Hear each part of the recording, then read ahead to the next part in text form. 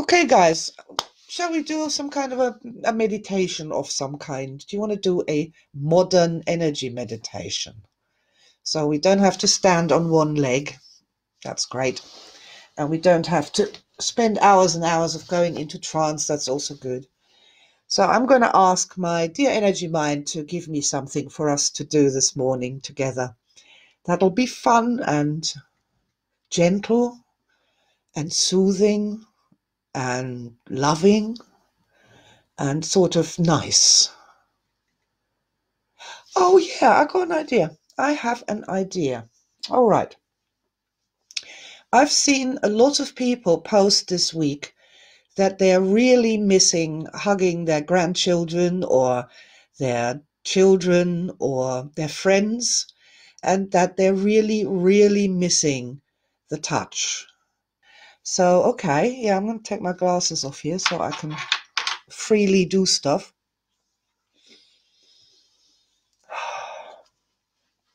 That's a nice thing to do as well. Shall we, shall we start with that? Why don't we start with that?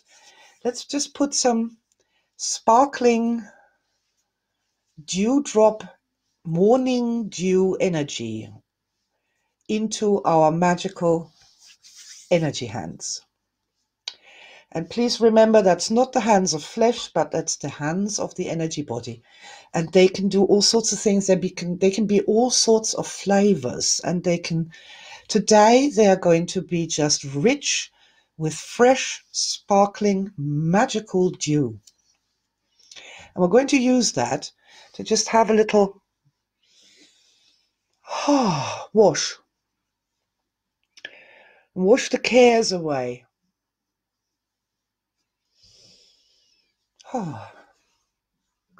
Wash all things we don't need away. That's really, really nice. And I would invite you to do this if you're by yourself somewhere or in the shower. And really do that over your whole body, all the way, leaving no body part behind. No body part is left out. And if you feel you've run out of sparkling dew energy, just evoke it back up again. Bring it back up again. Till your fingers tingle afresh, and then you can. That's like when the soaps run out of your sponge. You can just refresh that. That's really nice.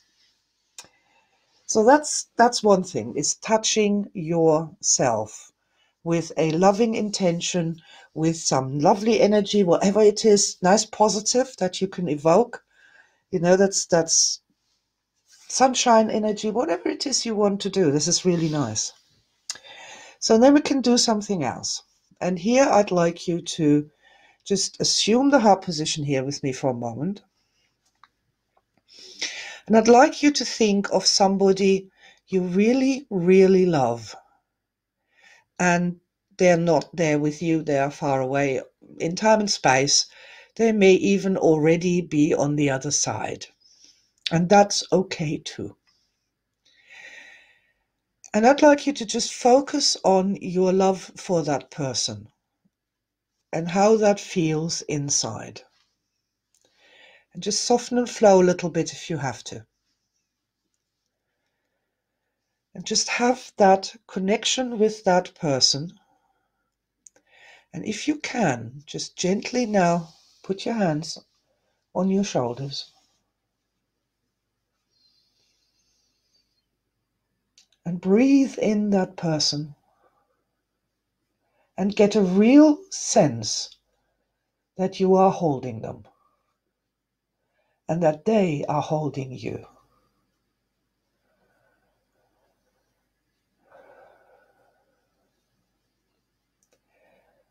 And you can just be with that for a moment. Perhaps stroke your own shoulders and arms. Or you could have a dance with the person away from the screen in your own time.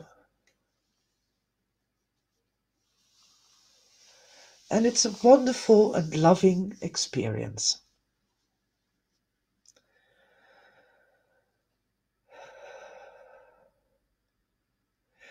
And when you're ready, return to the heart position. And Just send that person all your love, like a fountain, all your love. Because when we are sending love, love is an outward going energy. When we send all our love, that's when we become the strongest. That's when we become the most empowered. That's when we become the most connected and the least lonely we can ever be.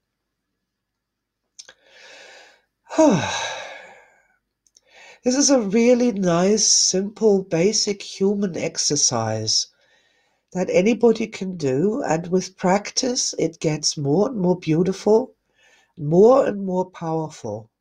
And when you miss someone and you miss their hug, that's then something you can do right away, and your energy system will let you know that you've done the right thing, you've done a wonderful thing, and it'll make you feel just so much better and it'll keep you strong and keep your love strong rather than sort of falling into depression and spiraling down into low negative energy states. I really love that. I think it's very, very beautiful.